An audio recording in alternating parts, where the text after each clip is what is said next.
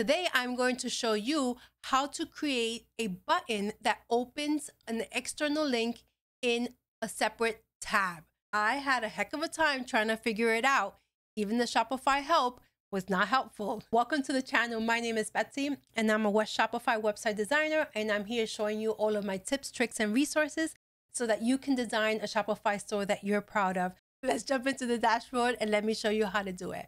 So as always, whenever I'm trying to do something, I always start off with Shopify help and see if I can find it. Now, Shopify released this year, Shopify Magic, right? So that's what this is. And this is so, so helpful. Um, you can just ask your questions here and you don't have to try to search it other places, right? Um, and so it gave me this article here on how to open external links in a new tab. However, it is for a vintage theme, right? And so this is the theme we're currently working on is the Dawn uh, version 11.0 it's not a vintage theme, right? And I couldn't find any other articles that allows me to do what it is that I want to do. So I figured, okay, I'm going to use this code somehow and figure it out because this is all I can find. Okay. So hence why I'm creating this video because you might want this as well.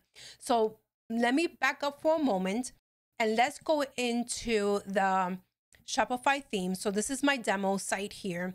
And so let's say here, for example, I want to create this button here and I want them to learn more.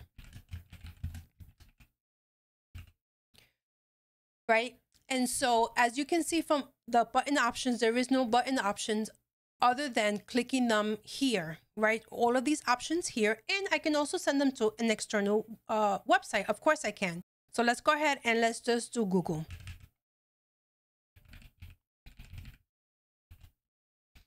Right? So let's go ahead and do Google. Go ahead and select that and let's save that. Let's go to the site here. Let's go ahead and refresh that. So what happens? I can click on here and yes, it's going to take me to Google, but it's going to take me away from the current page that I'm in in the shop, right?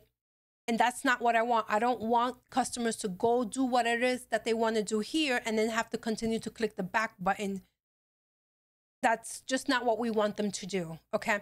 So, what came about this is that I have a current customer who is partnering with a nonprofit organization. And so she uh, donates a profit of her uh, t shirt sales to this nonprofit organization. But she wants customers to be able to give a donation should they feel called to, in addition to, you know, the purchase on, on her shop. So this is what led to trying to figure this out. Okay, so now we know we can't do it with a button. We can do it with text. So if I was to highlight this text here, right? So if I was to highlight the text right here, there's a link option here. You can see that here, I do have an option to say, open this link in a new window, but I don't have that for the button. Okay. Okay. So we don't want it to be in the text. She doesn't want to hide it. She wants a button that's nice and bright to say, hey, you know, feel free to give your personal donations. Okay. So that is what we're going to do. So we're going to go back to this article and we're going to go ahead and copy this code here and we're going to go ahead and paste it in the code. However, as you can see, it wants you to paste this in the assets, the assets folder in one of the, the theme JSON or the custom JSON. Let's go ahead and go check that out. So let's go into your Dawn theme. Again, remember, I'm doing this in my live one, but always do it in a backup copy. Make sure that it works, okay? So let's go ahead into my theme editor here. And then we're going to go into what it said, right? It was it said the assets. And then it said what? The theme JSON, right? Uh, theme JS or what was the other one? Uh, custom JSON, JS, right? So let's go here and you'll see it's usually in alphabetical order. You'll see that it says theme editor JS. It's not the same thing. And then the custom, right? You don't see custom here. And it's like, okay, where is it, right? I did more YouTube searching, regular searching, and I couldn't find it. But here it is. It's in the global JS. if you're using, if you're using the Dawn 11.0 or even the Dawn, this is the 7.0. Okay, so I did it already in the Dawn. So we're going to do it here. So edit, you're going to go assets, and you're going to go to global JS. All right, that's where we're going to put it. So we're going to go all the way, scroll all the way to the bottom here. Make give yourself some spaces here. Go ahead and paste that code right there. Okay. Then you're going to go ahead and click on the save button. All right.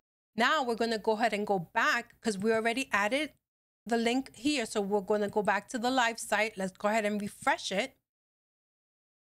Okay. And now when we click on this, as you, you'll see the tabs, I have the three tabs. Now you'll see I'm going to click on it and a new tab is going to open, right? So that gives you ability for the customers to come back and be exactly where they were and not lose their place. Now, ideally, you don't in the e-commerce store, you don't want to take your customers out of your site, right? You want them to stay on your site. You want them to make a purchase.